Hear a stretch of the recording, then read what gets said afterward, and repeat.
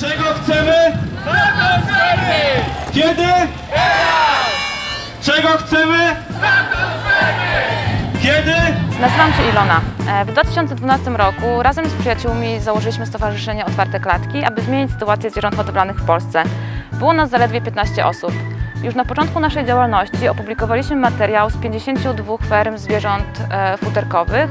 Dzięki temu rozpoczęliśmy debatę publiczną na ten temat, której rezultatem jest e, dziś projekt zakazu hodowli zwierząt na futro. Mam na imię Kuba. W 2013 roku dołączyłem do otwartych klatek i razem stworzyliśmy grupy działające w sześciu miastach w Polsce.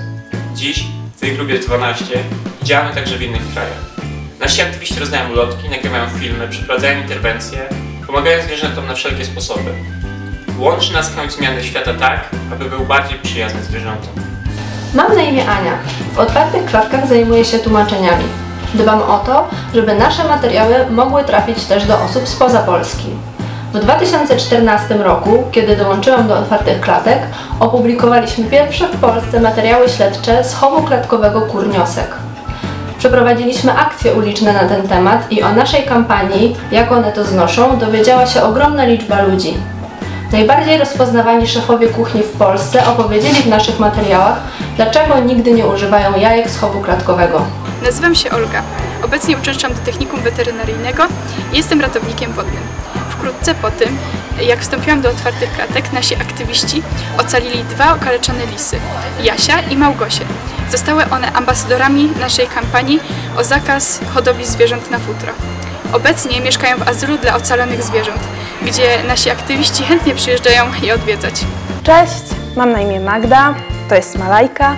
Na co dzień jestem lekarzem. Do otwartych klatek dołączyłam w 2016 roku i był to dla nas rok niesamowitych sukcesów. To właśnie wtedy pierwsze sieci handlowe zaczęły rezygnować z jaj z chowu klatkowego i jest to trend, którego nie da się już zatrzymać. Każdego miesiąca kolejne firmy deklarują, że nie chcą mieć nic wspólnego z takim okrucieństwem wobec zwierząt. Dzięki naszej kampanii zmieniamy los milionów kur znoszących jaja na polskich fermach.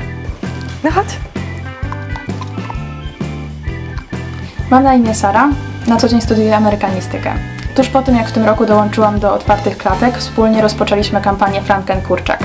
Celem tej kampanii jest poprawa warunków życia kurczaków broilerów hodowanych na mięso. Wiemy, że będzie to bardzo trudne, ale wierzymy, że wspólnymi siłami z Waszą pomocą jesteśmy w stanie cieszyć się jeszcze wieloma sukcesami. Bądź z nami, stań po stronie zwierząt.